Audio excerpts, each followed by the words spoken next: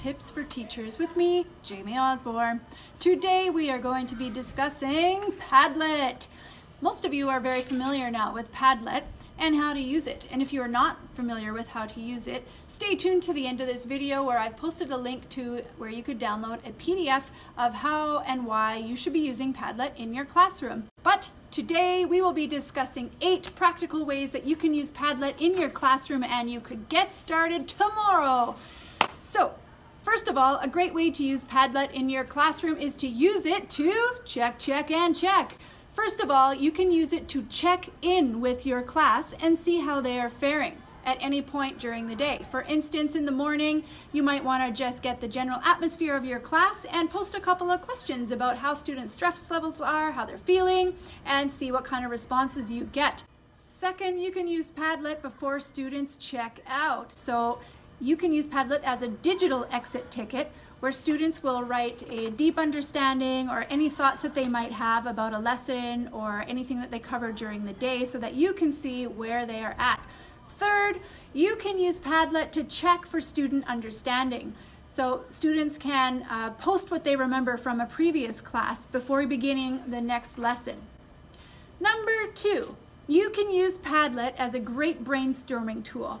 So for instance, all you need to do is give your students an idea, a topic, or a project, and have each of them add their ideas to a Padlet. Number three, you can use Padlet for anonymous questions. So for instance, if you're talking about something really awkward, say, I don't know, puberty, students can anonymously be posting their awkward questions without being embarrassed um, up on the Padlet. And you can see a live stream of these questions if you're so brave. Or you could just have it on your own computer and not showing so that it's not a live stream. Or you could also have a Padlet up while you are teaching so that students can ask questions as you're teaching and you can respond when you have time. Number four, use Padlet to collect responses. So for instance, you could post a photo, a video, an article, a math problem, whatever. You could post something up on a Padlet and have students respond on the Padlet. Number five, you can document discoveries using Padlet. On a field trip, want to go outside, create a Padlet to document student learning or their photos or their discoveries when they are off campus. Number six, use Padlet with a book study.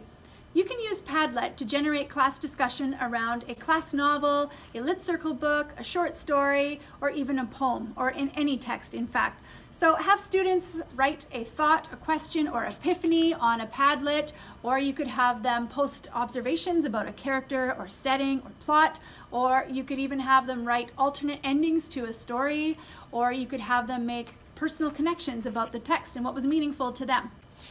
Number seven, use Padlet as a resource collection site.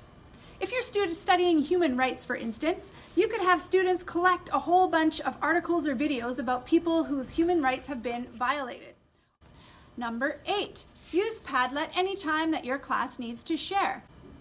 Anytime students are expected to uh, share about an event or share a photo or anything like that, you could do this through a Padlet. So for instance, if you study current events in your class, your, uh, each student could be expected to contribute a news article or photo about a current event, and then the next person would add another one, and then at the end of the term, you'd have a whole term full of the current events that you studied that term. There you have it, folks. That is eight tech tips. And as always, I'm available to help you implement any of these ideas in your own classroom.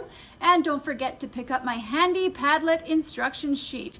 And if you're interested in even more ideas, take a look at these websites from which I pulled some of the ideas that we discussed in this video. See you on the next episode of Tech Tips for Teachers.